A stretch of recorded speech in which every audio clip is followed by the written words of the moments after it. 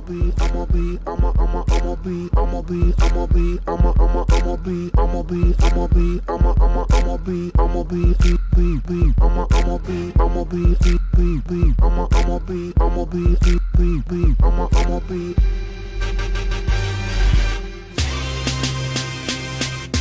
I'ma be on the next level. I'ma be rocking over that bass track. I'ma be chilling making all them deals you wanna do. I'ma be up in A-list flick. My life be like, ooh, ah,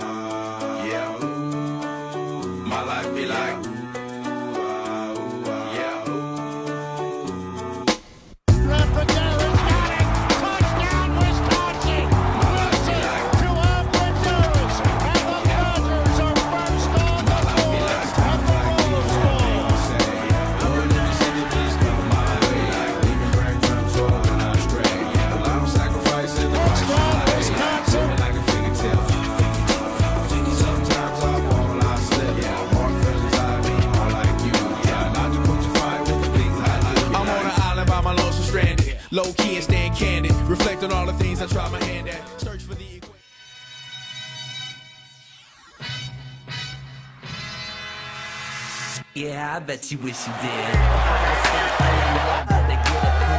You too, IU and Michigan. A matter of fact, I think we got the whole country feeling unlucky, wishing they could bucky like. Teach me how to bucket. Teach me, teach me how to bucket. Teach me how to bucket. Teach me, teach me how to bucket. I'm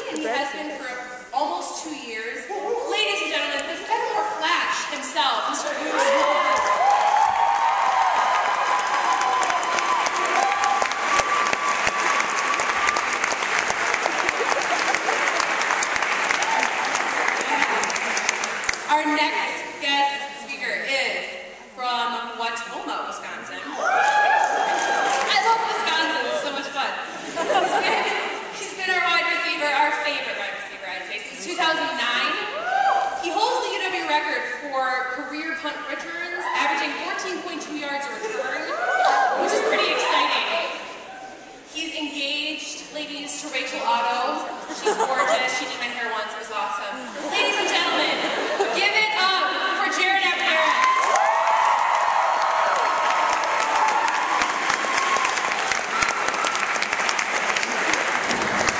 And last, certainly not least, from Racine, Wisconsin. He played for the Badgers from 2007 to 2009. He's married to Sarah, and they have a baby named Micah, who's four months old. He is, uh, he's adorable. He is currently playing safety for the Seattle Seahawks of the National Football League. Give a warm of welcome to Chris Maragos.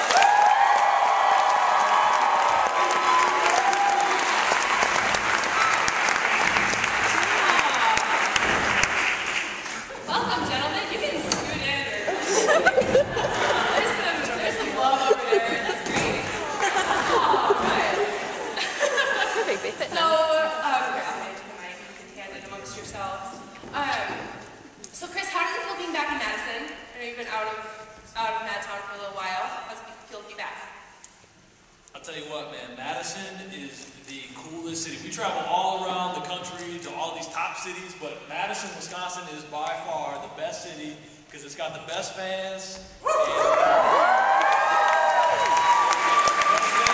And, uh, man, everybody just knows how to get down in Madison. That's all I gotta say. So it's definitely fun to come back. You got staples like Ian's, all these different things you have, man. You can't beat this. It's, it doesn't get better than that. That's awesome and so true.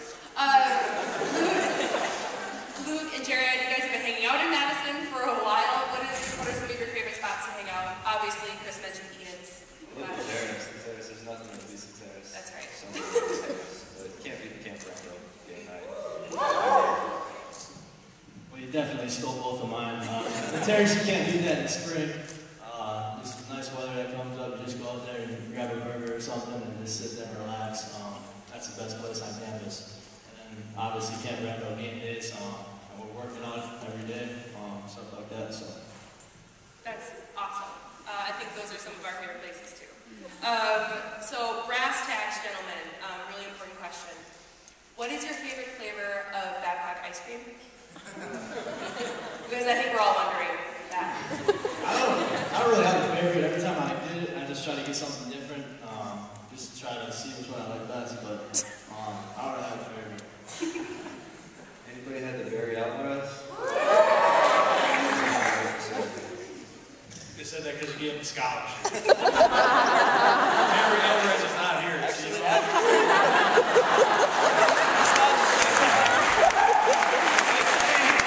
Listen, so I'm proud of- we are all walk-ons. And, uh, the way it, it goes back from the early 90s, all that kind of stuff. It, it went from Luke to me to Jerry, so we're holding strong. Yeah, not that old. All right. All right, my favorite, to answer your question, to get back on time. my favorite ice cream would be probably like a Moose Tracks. Because, you know, you got the vanilla on the outside, right? But then as you kind of dive into it, you know, there's some little nuts in there, little, little caramel. You know, there's, there's always something that just, it kind of catches you by surprise. So, you know, there's, there's a little uh, secret on every, every bite. So, yeah, definitely enjoy that. Can't even hold this steady. I'm gonna laugh A the whole time. mystery, a mystery in every pint. Sure. Um, now I know everyone, um, as interested as I am in ice cream, um, everyone is here to hear you talk about football, so why don't we do that? Um, how long, um, each of you answer this question, how long have you been playing football and when did it become a real passion for you guys? Uh, I started playing when I was like eight, nine years old, um, so I've been playing a long time. And it's been a passion ever since I've been watching the high school, college, professional athletes playing. Um, I've always wanted to do this uh, ever since I was young. So Uh, I started playing tackle football in second grade, and uh, we didn't lose a game all the way until I got to high school. And then we lost the game, and I didn't know what was going on. I was crushed, but uh, it definitely became a passion. Probably when, when I was about fourth grade, uh, Mike Singletary came and spoke at our church one time, and uh, he was talking about his passion for the game and uh, some different things, and it really kind of clicked for me probably at that age when uh, I definitely became really passionate, and that was really what I wanted to do. I grew up in a pretty small town, so uh, Fennimore, like uh, someone had whooped whooped about. Not many people are part of it outside of the state, but I didn't start until I was a freshman in high school. We actually didn't have football until until then. But I would say pretty much as soon as I started playing football, uh, there was something like stirring inside of me um, that said, "You need to do this. This is pretty awesome." So, Uh, that is awesome. I'm so glad that you all play football, first of all. Um, it's really sweet to watch you. Um, so that's football in general. Why don't we talk about Wisconsin? Um, why don't you all tell us what you liked most and you still like most about playing for the Badgers specifically? Yeah, I think uh, one thing for me um, is the crowd. Uh, I remember the, the first time that, that I walked out at Camp Randall Stadium. I was a little freshman, scared as scared could be, um, but so excited. Uh, I remember walking out and running out, and I just got goose, goosebumps running out. And then uh, my other favorite kind of part really has to deal with the crowd as well, uh, just the excitement, the electricity with it. Uh, one thing as a player when you're out there, you- you're playing, um, kind of the crowd disappears. Like you're out playing, it's just you and, and the other guys on the field, um, and everything disappears. And then my, my favorite moment, um, I think in Camp Randall was the first time that I caught a touchdown. Um, and everything was quiet, like I was concentrating on my football stuff. And as soon as that, that touchdown, I caught it and realized that I caught a touchdown, like the whole place just erupted. And it was, it was incredible. Um, and I think also too, as I, I've been thinking of it since lately, um, one of the things that's been really cool for me to think of is crowd at Camp Randall. It's, it's, it's crazy awesome. It's 85,000. Like on this earth, we can't think of anything really that much greater than 85,000 people going nuts. Decibels way up there. But I mean, when you start to think about it, that's kind of like a glimpse into heaven. Like it's going to be millions and millions of people just going nuts, like way more electric than any Camp Randall Stadium. So when, you, when I'm at Camp Randall Stadium and Seeing the 85,000 fans, you're just getting a little glimpse into what, what heaven's going to be like and what people are going to be excited about for Christ. Like you guys get excited for the players. I mean, there's nothing, nothing that's going to be compared to that time when we're there and we're rejoicing with, God. So kind of as, as I played, kind of one of the things in the back of my mind was God gifted me the ability to, to play football. Uh, he gave us the ability to play football. He gave us a passion for that. He, he made us excited about that. And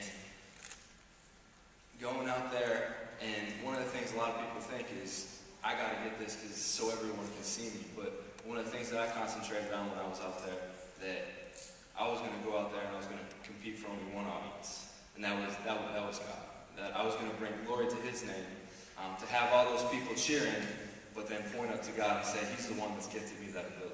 And it's kind of the same thing with all the abilities that God has gifted you guys, that you can point that that gift, that ability, do it to your, your highest potential, and point that point that up to Him. So I think those are the two two things that really really stuck out to me just about my time. My time there. I think you got it. Pretty much covered everything. I said you wanted to add something to that, but pretty sure you added everything for me. What was cool is uh, Luke and I were actually roommates in college, which was really cool. And uh, I remember when I came in, uh, Luke was one of the guys who really. Need another one? Oh. There you go. Oh, nice. I did graduate from this college.